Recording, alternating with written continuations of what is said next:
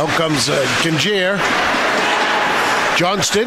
Kingier with a shot to score. Johnston Kingier. And here in the second period at 14.08, the Fairbank Ice Dogs get on the board first. Dylan Abbott with it behind the net. Then he loses it by the Generals. Stefani tries to center and score!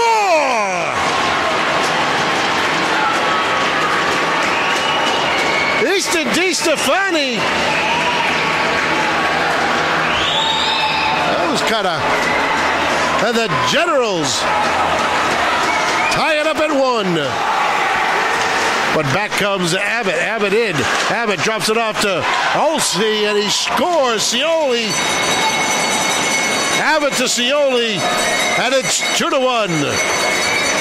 Generals kind of got caught back up on their heels for the last couple of minutes here. Able to chop it into the zone, and then he ends up running into uh, Di Stefani, and back comes the other way, and a shot to score. Johnston.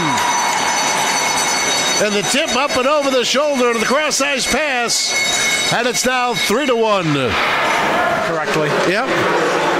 Shot on by the Ice Dogs, and the Generals able to get it out 5 4, and that's going to do it here at the New England Sports Village.